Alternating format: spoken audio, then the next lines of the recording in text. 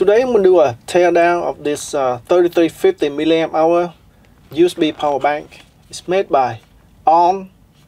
Very strange name, but this is a Walmart brand. Uh, it's I think it's uh, it's a Walmart brand. It's sold at Walmart. Very cheap. Four dollars eighty-eight cents. It's really cheap, and it has 3350 milliamp hour. And what makes me curious is that this number is coincidentally the same capacity as this LG uh, 3350 milliamp hour or the Panasonic 3350 milliamp hour. So is it the same cell or is it just a generic? And after the teardown, I'm also gonna do a test, the capacity test with my charger here to see if it, the cell is actually 3350 milliamp hour as on the packaging here. Now let's pry this off and see what's inside. There are no screws, so I guess we just have to do the old-fashioned way.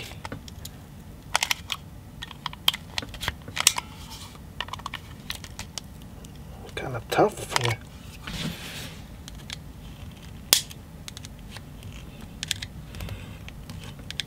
Slowly coming out.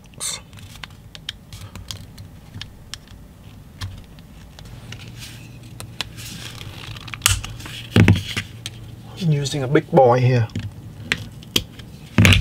Now it's coming out.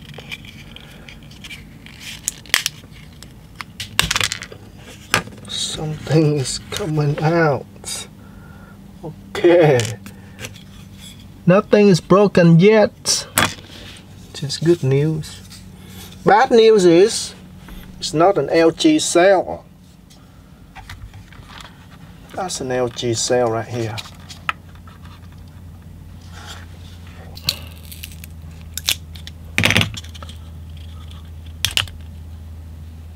Silicone.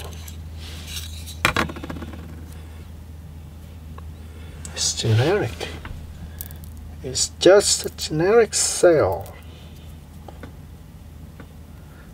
Yes, take a look at the label here. I'm sure you close up the model number here. I just did a Google search and it didn't come up with anything at all. My next step is I'm gonna I'll remove this.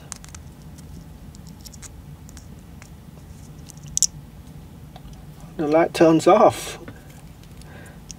Remove this and we'll test the capacity on my charger to see if it's actually 3350 milliamp hour as claimed on the sale and on the packaging here.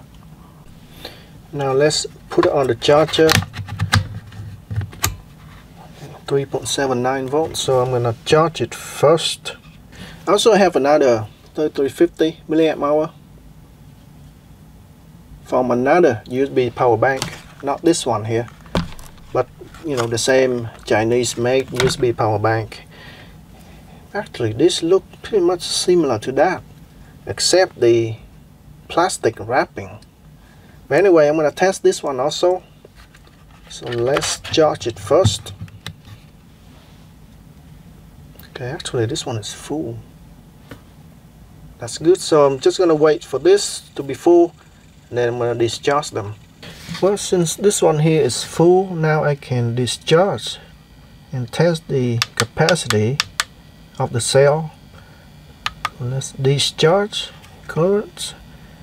For my last test, it's best to run at 700 milliamp and that's what I'm gonna use to discharge the cell. Okay. That's it. This one is charging and when it's full I'm gonna do the same thing and discharge it and test the capacity. Right so it's been a few hours and it is done. Now let's check this out. We got 3182 milliamp hour 3163 milliamp hour. So they are pretty much almost identical. That's amazing and they ran for 4 hour 36 minutes this one is 4 hour 32 minutes. So very very close. Almost identical. So no more discharge. It is already done. Current voltage 3.5 volt 3.49 volt. You can see they are very much identical. Let's take a closer look at the model number so we got DBK INR 20650 A 3350 on the top cell. Bottom cell is the same. Even though the writings are a little bit different but the part number are identical. So I'm not sure these are made by the same factory or not. Um, the wrapping have different color too so before the test my expectations for these were really low I didn't expect much but we got very close to the rated capacity of these cells Considering these are no brand name, they are probably made in somebody's garage in China is pretty impressive. So in my previous test with these LG 3350 mAh cells, I also got close to this value.